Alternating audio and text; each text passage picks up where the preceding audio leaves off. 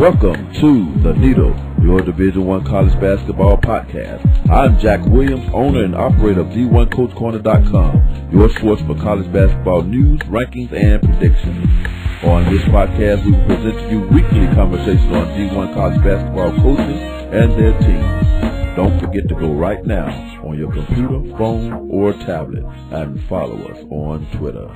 This episode of The Needle is brought to you by D1CoachCorner.com, your source for Division One college basketball. Thank you for joining us once again on The Needle. Again, my name is Jack Williams, owner and operator of D1CoachCorner.com, your source for college basketball news, rankings, and predictions. Today we're going to have a little discussion on teams that we thought were going to be very good this season, but ended up being disappointing to us. And of course, we are going to find out why. We'll also have a discussion about teams who we thought were going to be a bust in college basketball, but ended up surprising everyone and find out why that happened. We'll also bring to you our new Coach Impact segment, which will highlight coaches who have recently taken over a team and has positively impacted the team as a result of him being there. And then we will get to our hot seat watch list segment of our show, which highlight coaches who have been with their teams for over five years, but hasn't yet produced a winning season or anything close to it. Or a major Division One head coach who can't seem to get his team past the first round of the NCAA tournament. But before we get to our topic at hand, let's talk about Penny Hardaway's statement last week that there are a lot of coaches out there who are jealous of him because of his past NBA ties. Do you believe that? Now, I don't believe that is the case. I've been covering college basketball for quite a while now, and the one thing that I notice about Division college basketball coaches and that circle is that they are not so much of a tight knit group. These guys are very competitive. The media that covers Division One college basketball and successful Division One college basketball coaches themselves have never had too much respect for great pro basketball players who have turned Division One head coach. The reason is that pro basketball players who have turned Division One head coach have hardly ever been successful on the Division One basketball level, and vice versa. Division One head coaches who become pro coaches hardly ever do good on that level. Now, keep in mind that we are talking about good to great NBA players who have turned Division One college basketball coach. Now, to be fair, there are a few successful ones in Division One college basketball currently, and they are Avery Johnson and Dan Majerle. Coach Johnson led Alabama to the NCAA tournament last season. Will probably make it this season. However, to be successful in Division One college basketball, especially in a Power Six conference, you have to lead a team deep into the NCAA tournament in order to be considered successful. That normally spells success, going deep into the NCAA tournament. I can't think of a good to great college basketball coach who has done that. Now, some people argue that Kevin Ollie won a championship with UConn. Yes, he did. But don't forget, he won the championship with Coach Jim Calhoun's team, who had already won a championship prior. But when it was time to put his own team together, he couldn't do it. Now, Fred Hoiberg, who's available right now, by the way, wasn't a good player in the NBA. Nor was Bobby Hurley, Larry Krystkowiak, nor was Bryce Drew. But others like Eddie Jordan from Rutgers Isaiah Thomas from Florida International, Corliss Williams from Central Arkansas, and Reggie Theus of Cal State Northridge were complete failures. Now the verdict is still out on Terry Porter, Chris Mullin, Donyell Marshall, Damon Stoudamire, Patrick Ewing, and Penny Hardaway.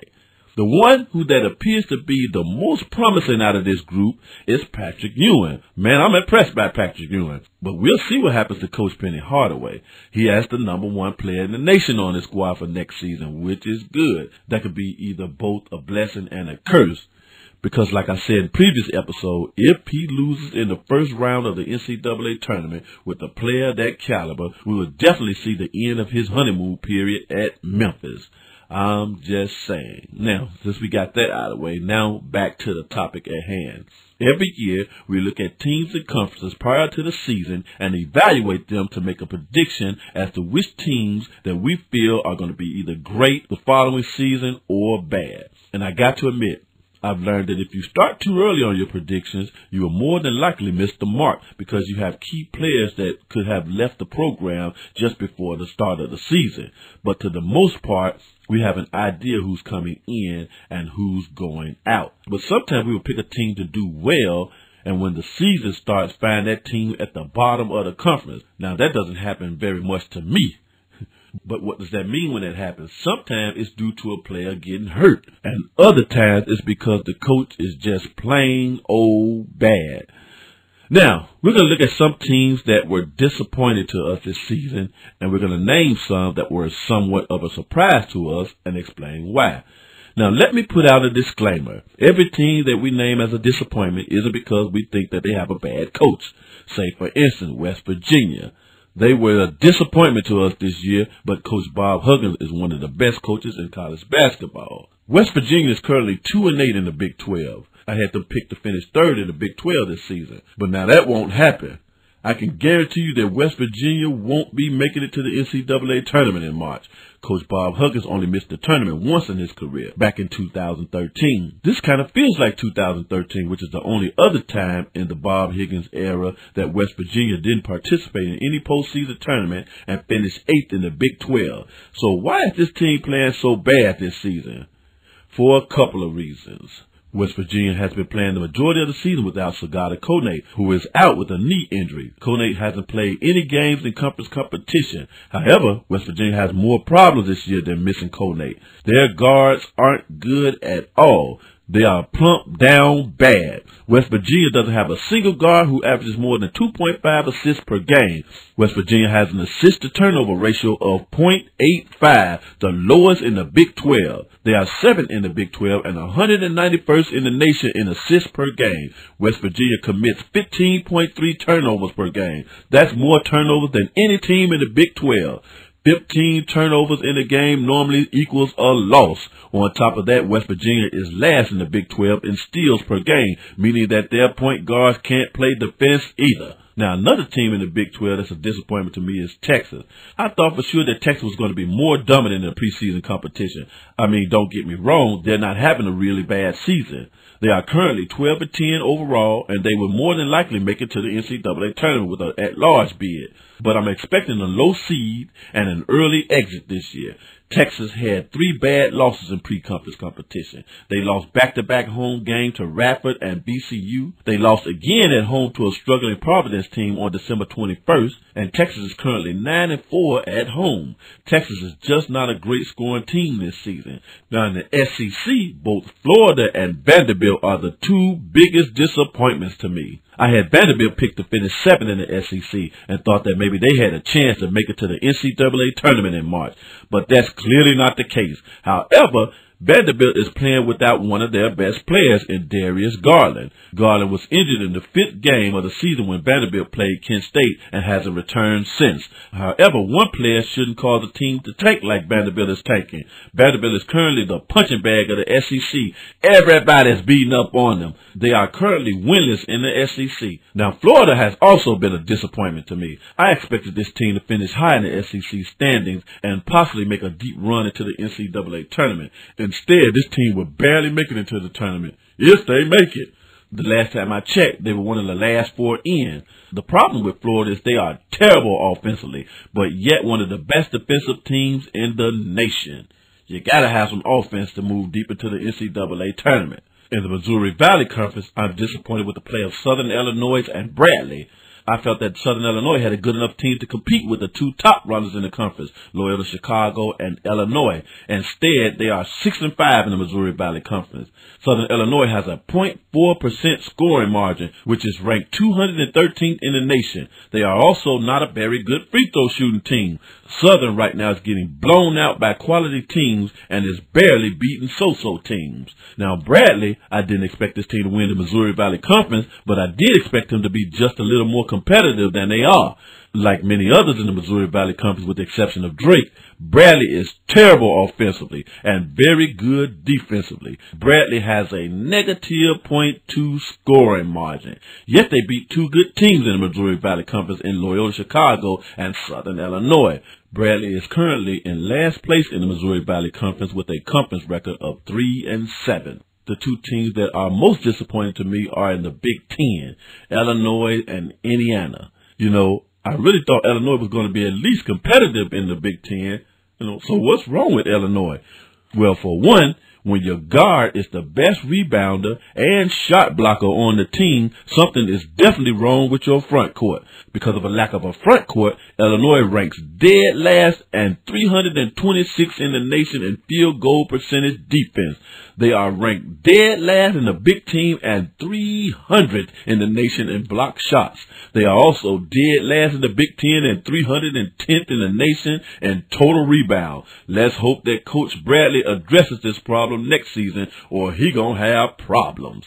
Now the problem with Indiana is that they have great defense, but they aren't scoring enough points. This team depends heavily on Romeo Langford and Juwan Morgan for points. With only a 5.7 scoring margin, all the team has to do is slow those two down and you got yourself a win. Now Indiana is another team on the bubble to get into the tournament. However, I believe that their possibility is a strong one. Finally, the whole entire Pac-12 is a disappointment to me this season. There's still not a team in the Pac-12 that's in the top 25.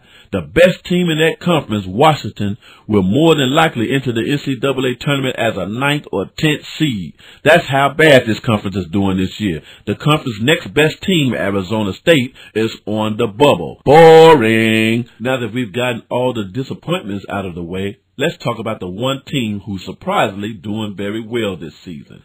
South Florida. My preseason poll and other preseason polls had this team ranked to finish dead last in the American, like always. But surprisingly, second year coach Brian Gregory has this team playing some good basketball.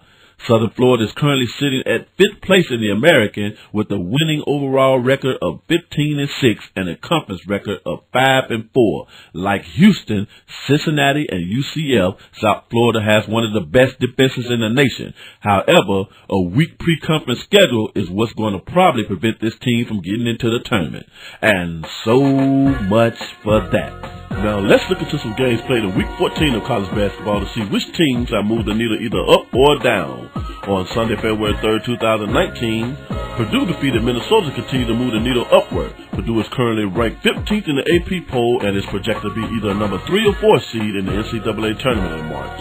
Now on Monday, February 4, 2019, Louisville continued to push the needle upward with this road win over ranked Virginia Tech team.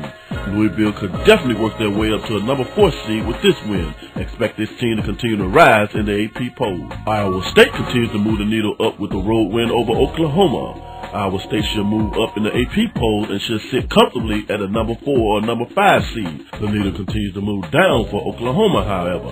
Oklahoma has to be very careful from this point on. The team is currently predicted to be a 10th through 12th seed in the tournament.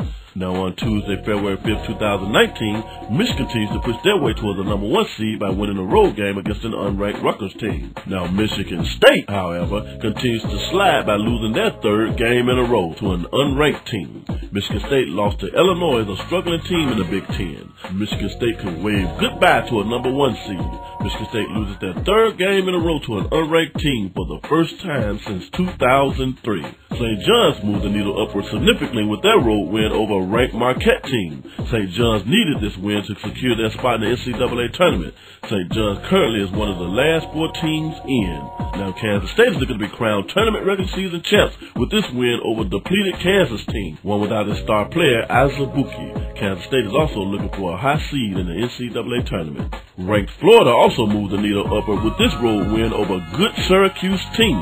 Now on Wednesday, February 6, 2019, Nevada, Wisconsin, LSU, and Maryland all win road games to secure their spots in the top 25. Nevada defeated Colorado State. Wisconsin defeated a good Minnesota team. LSU defeated Mississippi State, while Maryland defeated Nebraska to hand them their fifth loss in a row. It is almost certain that Nebraska won't be making it to the NCAA tournament this season. Now on Thursday, February 7, 2019, Houston demonstrated why they are the top team in America by defeating UCF on the road. UCF was picked by the coaches poll to win the regular season conference title. They should have listened to me. Cincinnati continues to demonstrate why they are always in the race for the top spot in the American Conference by defeating Memphis on the road. Now on Saturday, February 8, 2019, happy birthday State Little Sister, there were a plethora of needle moving games going on. Duke defeated Virginia on the road in the battle for first place in the ACC. Either one or both of these teams will more than likely be a number one seed in the NCAA tournament. Kentucky creeps their way up to the top of the SEC with a road win over Mississippi State. The question is, who can beat Tennessee? Tennessee remains undefeated with a home win over Florida.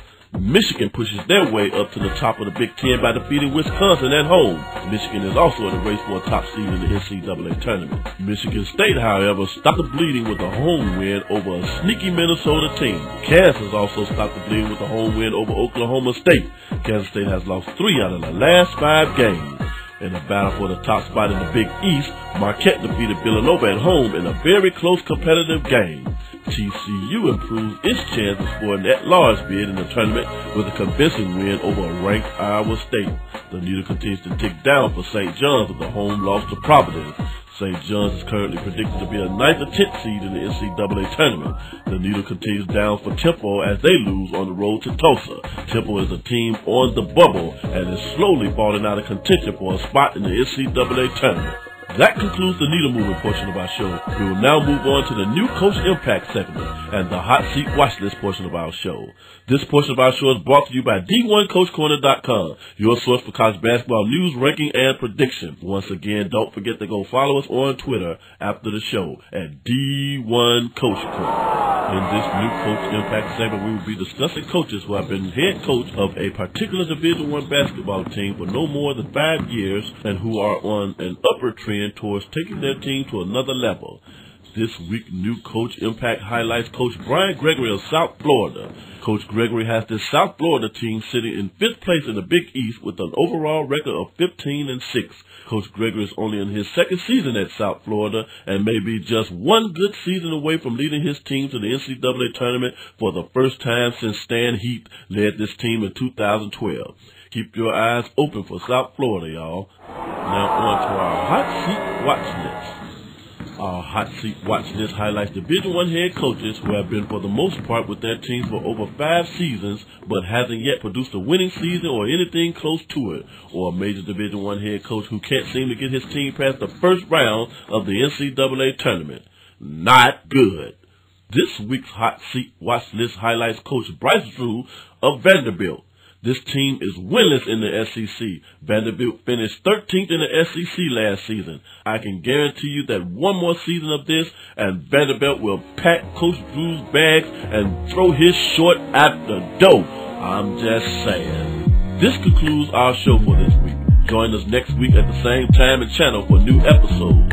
We will be happy to take your questions and comments on Twitter for our next episode.